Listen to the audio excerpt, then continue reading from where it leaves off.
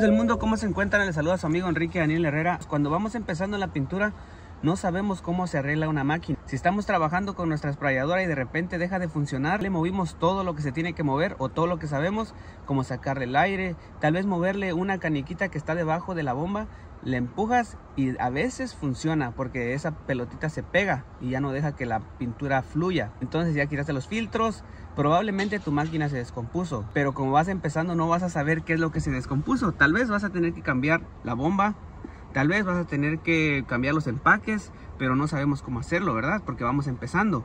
Bueno, no entres en pánico, no pienses que tu máquina ya se descompuso y la vas a tirar a la basura. Lo que puedes hacer es mandarla a arreglar pero cuando vamos empezando no sabemos dónde poderla mandar a arreglar. Quiero decirte amigos que todas las tiendas ofrecen uh, el arreglarte tu máquina como Sherry Williams, Benjamin Moore, uh, también Dom Edwards o esta compañía de pintura que se llama Roda Paint. Todas las tiendas tienen el servicio de buscarte a alguien que te arregle tu máquina.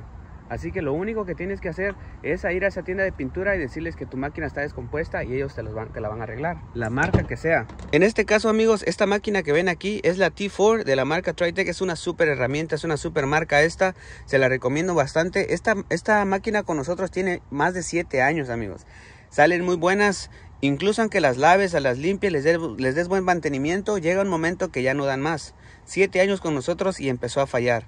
Ahora lo que voy a hacer es mandarla a arreglar, que la compongan. Uno sí puede mandar a traer la bomba y todo lo que tú quieras, pero en ocasiones para mí se me hace más práctico mandarla a arreglar, que ellos la arreglen rápido. Obviamente se va a pagar como unos, pienso que por esta nos van a cobrar unos 500, 600 dólares para arreglar esta máquina. Pero esta máquina en el mercado está costando casi dos mil dólares. Es una súper herramienta y son muy caras en el mercado estas sprayadoras de la marca Tritech.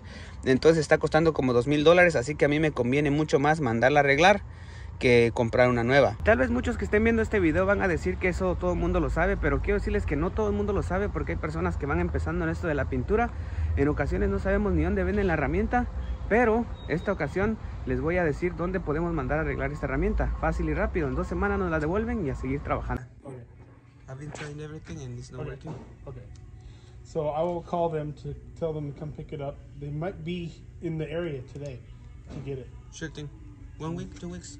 No, that's fine. Take any time. No, that's, Yeah, that's we'll we'll call you. Thank but you. let me call them now so I can Y así de fácil es como mandamos a arreglar las máquinas. Sabemos que las máquinas tienen desgaste, tienen mucha carrilla, mucho, mucho trabajo. Así que es inevitable que no se descompongan. Pero también con el buen cuidado, con el mantenimiento van a durarte más. Pero ya saben dónde traer las máquinas si es que se te descomponen a las tiendas de pintura.